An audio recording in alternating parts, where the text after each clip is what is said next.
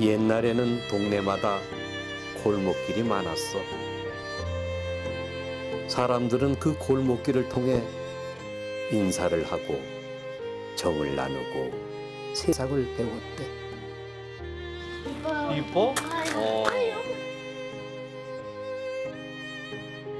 사람과 사람 사이에 섬이 있다고 노래한 시인이 있지만 난 사람과 사람 사이에는 다리가 놓여 있다고 말하고 싶다. 그대는 오늘 누구와 다리를 걷는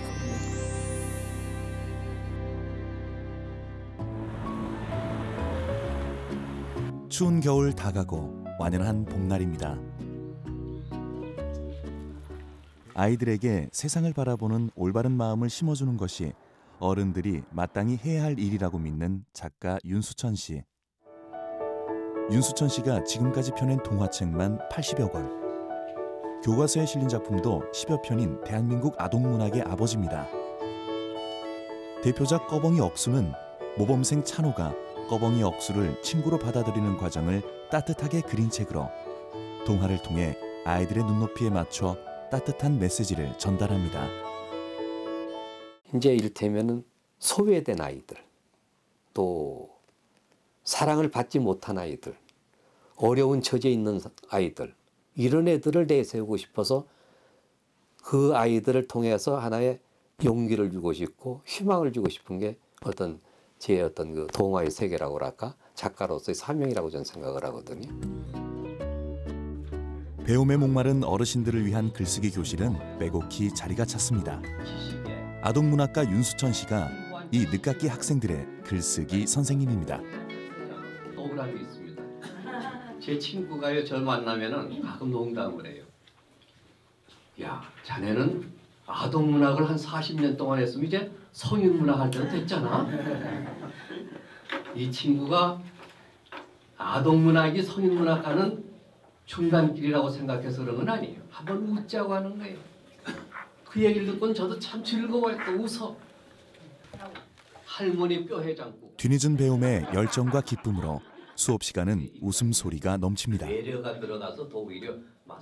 75의 나이에도 언제나 말끔하고 단정하게 윤수천 씨는 이 글쓰기 강좌를 벌써 12년째 이끌어가고 있습니다. 어디 문학소녀, 문학소년이 따로 있나요? 밤새워 쓴 시 멋들어지게 읽고 진지하게 감상평도 나누는 지금 이 시간은 청춘도 부럽지 않습니다. 태어나서 생전 처음 신앙독을 하게 됐습니다. 살림하느라 남들 앞에 서볼 일이 있었겠습니까마는 떨림보다 뿌듯함이 더 큽니다. 다람쥐 나뭇가지 사이 뛰노는 부산한 생명의 소리. 매주 꾸준히 글을 쓰다 보니 이제는 표현력도 예사롭지가 않습니다. 메아리가 좋네요. 진지해지셨어요. 저는 이거 환영합니다. 아주.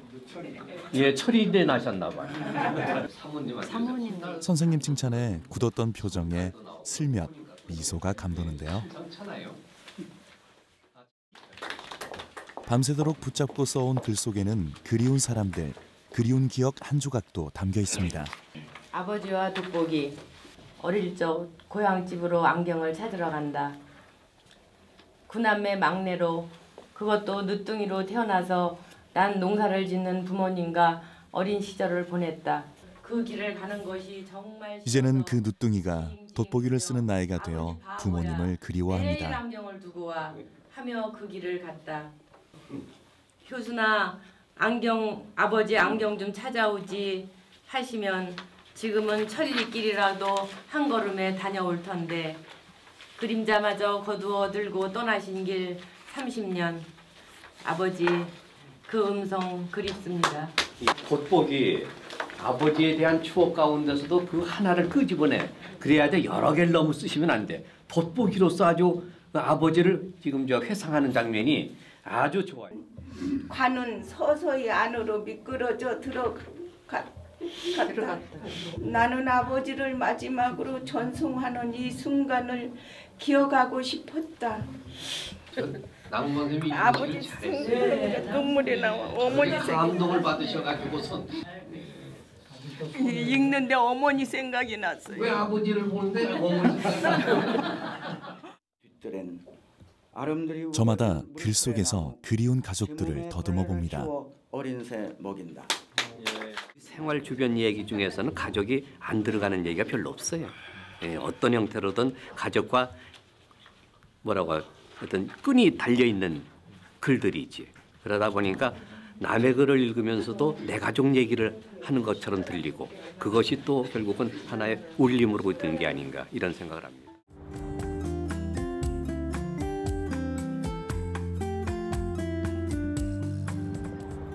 강의가 끝나면 본업인 아동문학가로 돌아오는 시간.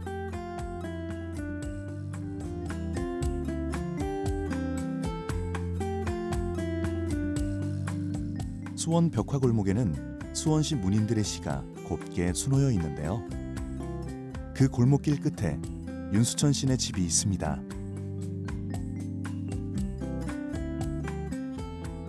이미 동네에서 유명한 동화 할아버지네 집. 꺼벙이 억수는 벽화로 다시 태어나 할아버지네 집을 지키고 있습니다. 자식들 모두 출가시키고 아내와 단둘이 오순도순 그렇게 다시 신혼처럼 삽니다. 귀찮을 만도 한데 아내 이종진 씨는 결혼하고부터 하루도 빠짐없이 정성스럽게 손수 주스를 갈아줍니다. 왜 믹서기 안 쓰세요, 언니? 이게 전기로도 하면은 해로울까봐. 예, 그래서 항상 45년을 이걸로 강판이라 해서 어느 정도 다르면 강판을 또 다시 갈고 갈고 그랬어요. 이 항상 이렇게 해드리니? 또 잘 잡숫고. 화장실을 자주 다니셨어요. 처음에 결혼해서. 몸도 약하시고. 그런데 뭐 이게 효과가 있는지 어쩐지 몰라도 요걸 잡숴서 그런지 여태까지 건강하신 건강해요 진짜. 사과 하나, 당근 하나 그렇게 싹싹 갈아서 손때 묻은 양은 착즙기에 꾹 짜면 남편만을 위한 한 잔이 딱 나옵니다. 이거 가는 소리 나면 나오셔 또. 정혜 아빠 이거 가져가? 오늘 또 그 자리에서 건강 주스 원샷. 그것이 한결같은 아내의 사랑이라는 것을 남편은 잘 압니다.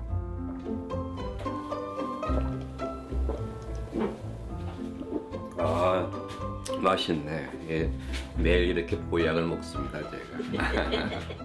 하루에 삼시세끼 꼭 식사해드리고 지금 아무리 세상이 변해서도 나는 우리 아저씨 식사 꼭 이렇게 해서 해드리고 딱 이렇게 놀았어요. 이렇게 해서 내가 손수 다 해가지고선 말려가지고 햇빛에 말려가지고 이렇게 해서 이제 방앗간에 가서 빠다가 청국장 띄워 깨끗한 볕에 말리는 그 정성과 수고가 보통이겠습니까? 그래도 1년 12달 떨어지는 일은 절대 없습니다. 야구르트에다 타 먹지요. 그래 매일 먹으니까 하루에 한 두서너 번씩 먹으니까 그렇게 많이 안 넣고 평생 살가운 소리 해본 적 없는 남편이지만 아내는 남편이 아직까지 건강한 것도 군소리 없이 잘 먹어주는 것도 마냥 고맙습니다. 해주는 사람이 아무리 정성껏 해도 잘 안 잡수면 소용없잖아요. 그래서 너무 감사해요, 진짜. 그래서 이렇게 같이 이제 해로해 그러니까 좋고. 그렇잖아. 제가 남편으로서 고마운 마음으로 제가 저 하나 만든 겁니다. 그러니까 제 마음이 담긴 걸로 보면 되겠죠. 예, 감사패 아내 이종진님, 우리가 부부로 살아온 지 어느덧 42년의 세월이 흘렀어요. 가난한 집안에 시집을 와서 어려운 살림을 잘 꾸려줄 때 대해 고마운 마음 그말길 없어요.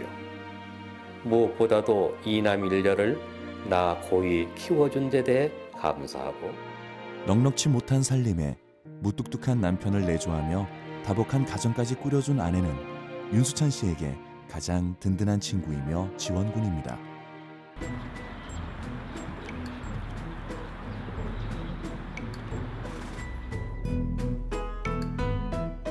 그렇게 아내의 든든한 응원에 힘입어 오늘도 길을 나섭니다. 작가로서 끊임없는 영감을 얻기 위한 하루 일과인데요. 동심도 찾고 들감도 떠올리고 책도 읽는 자유로운 시간. 그래서 윤수천 씨가 붙인 이름은 창작 여행입니다. 상상 여행보다는 창작 여행이다. 예. 뭐 듣- 그것도 저희가 제 스스로에게 위- 위로하는 거지요. 뭐 남들이 보면은 어디 그냥 할 일 없이 다니는 거고 제가 이제 같은 길을 가더라도 아 의미를 달아다 붙이다 보니까 그냥 창작 여행이 있죠. 그래서 의- 소득이 있는 날도 있고 또 없는 날도 있고 그리고 또 하나의 저도 그렇게 다니면서 어떤 즐거움 같은 걸 제 스스로 자꾸 만들려고 애를 쓰지요. 먼 길은 아니지만 버스를 타고 한 시간 남짓 떠나는 낭만 여행입니다. 선생님의 플랫폼이네요. 개인 플랫폼. 그렇죠. 그러니까 운전 기사들이 널려 있잖아요. 대형 차들이. 얼마나 좋아요. 자기가 운전하면 그런 생각을 못 가질 것 같아. 응? 흔들거리는 버스를 타고 사람 구경, 창밖 구경하는 시간. 시한 구절 나오는 것도 바로 이런 때입니다.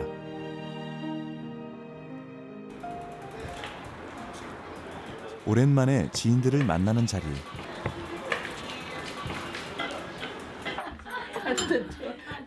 함께 글을 쓰는 문인 동료로 만나 시간이 흘러 어느덧 가장 친한 벗들이 됐습니다. 잘해서 응?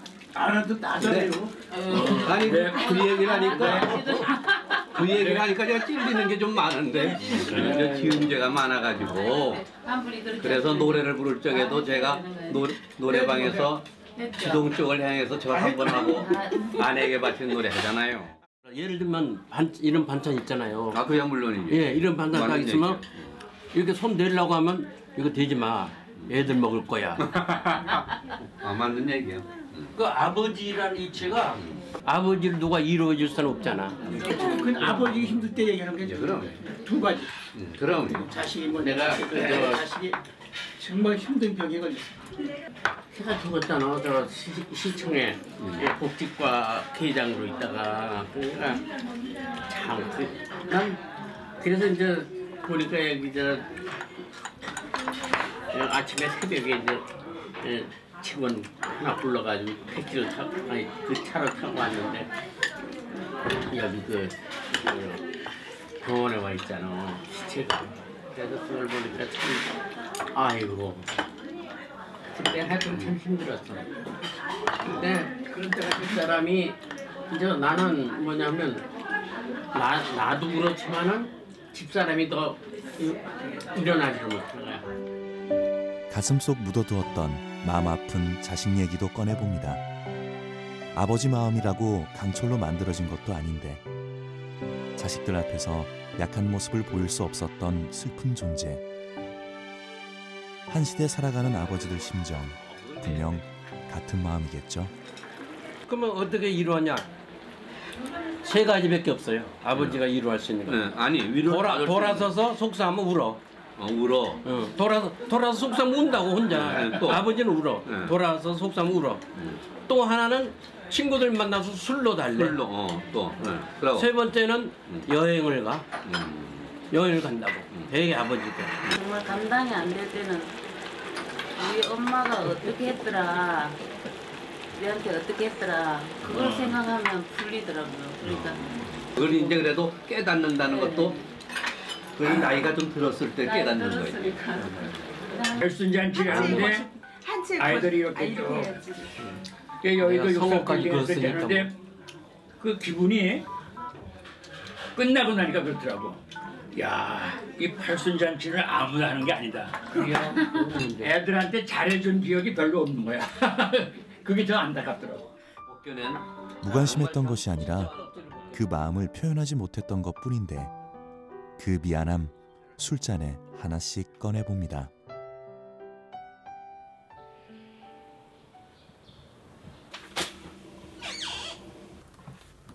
오늘도 이른 새벽부터 부지런히 작업을 시작합니다.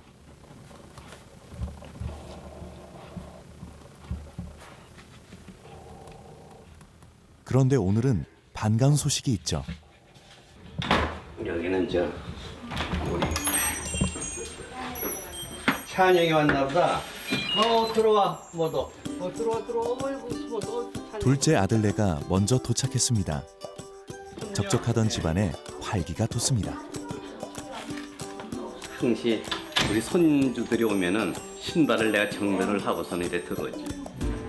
근데 이게 발이 컸는데? 나라리 할아버지한테 잘 뛰어놀게. 그래 잘 뛰어놀지. 너네 지원 잘 다녀?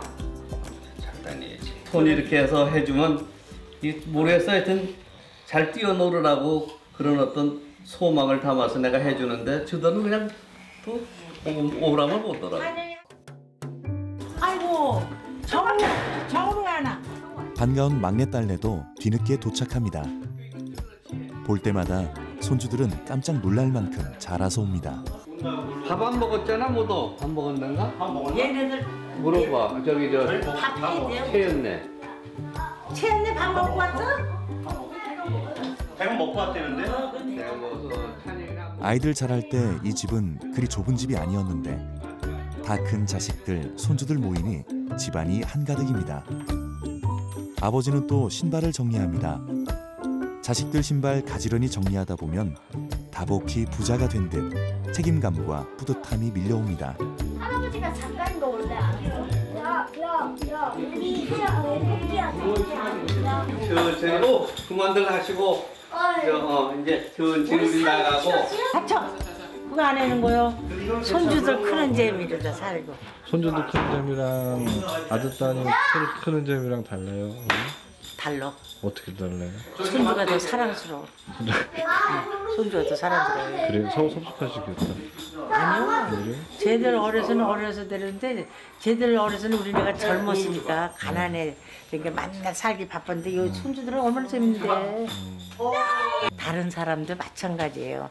늙으면 손주들이 또 쟤들이 또 무슨 오고 그러면 너무 행복해잖아 오면은 와서 또 뭐 먹는 거 보면 행복해 그렇지 뭐.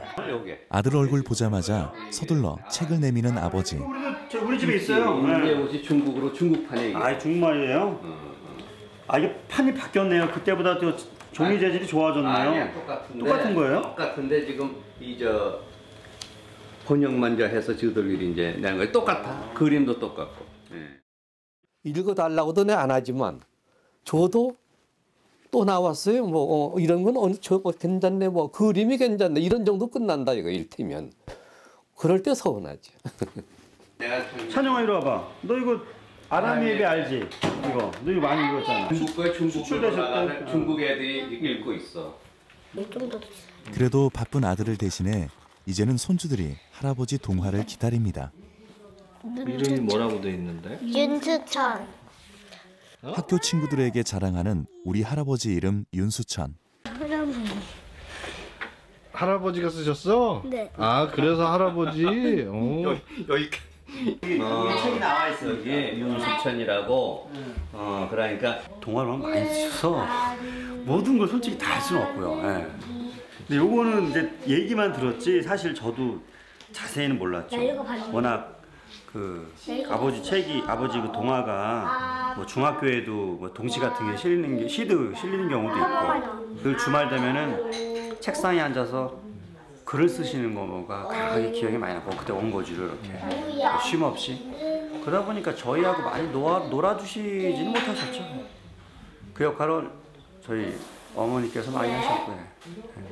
자상한 아버지고 싶고 솔직한 얘기로 친구의 어떤 그 서로서의 교감을 가, 느낄 수 있는 그런 아버지고 싶지만 그게 잘 안 되더라고. 그러니까 표현 마음 속에는 그런 걸 갖고 있는데 표현으로서는 그렇게 어떻게 적극적이지는 못하다고 그럴까? 조금 아마 어떤 그릇이 작아서 그런지 뭐라도 그게 안 되고 항시 좀 껍질을 이렇게 외투를 입고 있는 느낌. 예. 근데 그걸로 해서 결국은 그래도 어떤 아버지로서 이제 어떤 위치를 찾고 있는 거 아닌가 이런 생각도 들어요. 외톤동 할아버지 요새 봤어? 어, 여기 시골 할아버지래요. 여긴 시골이라고. 얘네들이 여기 시골로 보더라고요. 시골에 간다고. 그래서 왜 시골이냐 했더니 그러니까 건물이나 집들이 낡았다고. 그래서 시골 아니다고. 여기도 옛날에 훨씬 좋았다고. 그러니까 아파트만 보고 이런 중심 이런 쪽만 다니다 보니까 얼마나 여기가 좋은 데야. 이런. 아니에요. 여 나가면 성이 있잖아, 성. 걸어 다니지. 어, 얼마나 좋아. 어, 100자 이상? 거긴 맨날 자동차만 보이지. 딱쟁이 손녀의 관심을 끌려면 이것만한 게 없죠. 이게 윤수천 씨가 아이들 어릴 적 사진을 참 많이도 찍어주었습니다. 어릴 때 사진인데 자연농 하도 많아서 사진이 이게 그냥 아빠, 이게 어, 큰 아빠. 이 강아지. 강아지 또 있다. 여기 저 고모, 복실이. 고모. 고모하고 할아버지. 할아버지 강아지 복실이 강아지. 근데 할아버지 미니언즈에서 나오는 김 할아버지는 그, 그 닮았어요. 만화에 나오는 할아버지 미니언즈랑 폭인 할아버지는 닮았어. 이것도 저 자- 우리 저 사무실에 있는 거 내가 갈- 빌려다가 맨날 찍어준 거예요. 거의. 자식들이 이렇게 금방 커버릴 줄은 그때는 미처 몰랐었죠. 돌이켜보니 추억이 재산입니다. 도서관은 좀 머니까 도서관만 해도 그렇게 근처에 많지 않았으니까 그냥 친구네 좋은 책 있으면 같이 빌려보고 했던 기억이 나요. 근데 저희 아빠가 그 당시 그 시대에 되게 생각이 깨이셨던 분이 제가 그런 걸 좋아하니까 제 기억에 가끔씩 새로운 책을 사셔서 제가 좋아할 만한 책을 사서 제 머리맡에 두셨어요. 그리고 어, 예전 책 다 읽었으니까 이것도 읽으라고 주시기도 하고요. 어, 되게 그게 하나의 그때는 사랑의 표현인 거죠. 그리고 음, 어릴 때 저희 집은 교회도 안 다니고 뭐 성당을 나가는 것도 아니었어요. 근데 저희 엄마 아빠가 크리스마스를 꼭 챙겨주셨어요. 하나 갖고 나온 정리 거예요. 한번 하셔야 되잖아, 진짜. 그래서 놀아주고 이제 그래야 되는데 엄두 갔나? 그래서 내가 지금 그러는 거야. 너무 많아서. 그때 우리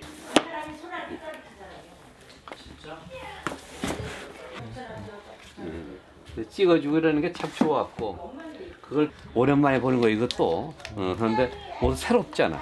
예. 커졌어? 야 장미가 이뻐 어때요? 이뻐요. 이뻐? 같이 사는 거야. 거미는 이 어디 자연 속에서 근데 여기 벌레도 땅에는 애벌레 같은 게 있는데 어, 애벌레도 그냥 두는 거요. 그거 다시 그냥 두면 작은 정원이지만 도시에서 온 손주들에겐 꽃도 벌레도 마냥 신기한가 봅니다. 어 개미다. 개미 죽이지 마. 아니요. 그럼 어디 모르. 다 살라고 나온 거 아니야, 그렇지? 맨날 감기 살고. 글을 쓰느라 아들 딸과 놀아주지 못했던 아쉬움. 손주들에게만은 더 자상한 할아버지가 되길 다짐해 봅니다. 아이들은 불쑥 왔던 것처럼 그렇게 떠납니다. 시끌벅적하던 집은 다시 두 부부만의 조용한 집으로 돌아옵니다. 쓸쓸한 마음에 부부는 집에 들어가지 못하고 정원을 서성입니다.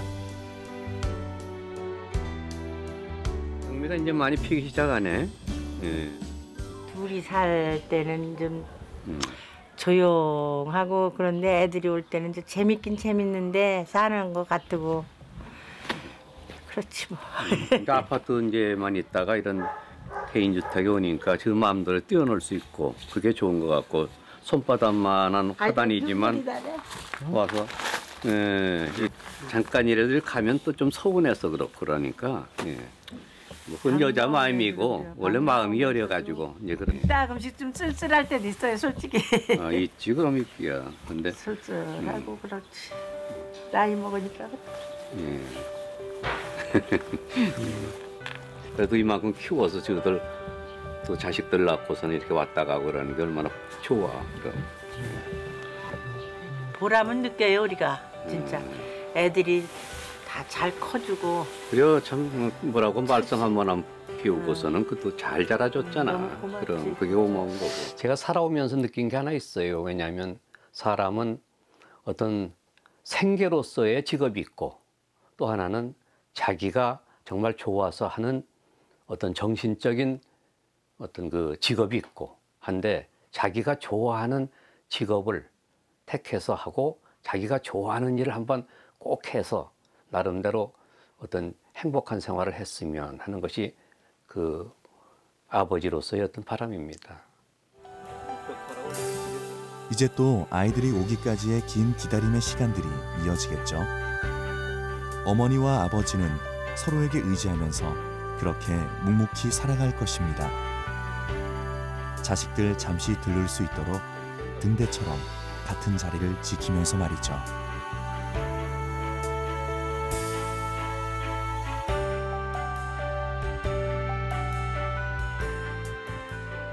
그 어떤 꿈을 가진 아버지, 예, 좀 추상적인 얘기가 될지는 몰라도 어떤 현실에 만족하면서 나름대로 뭔가 이상을 가지고 살아가는 그러한 그 인간이 됐으면 좋겠습니다.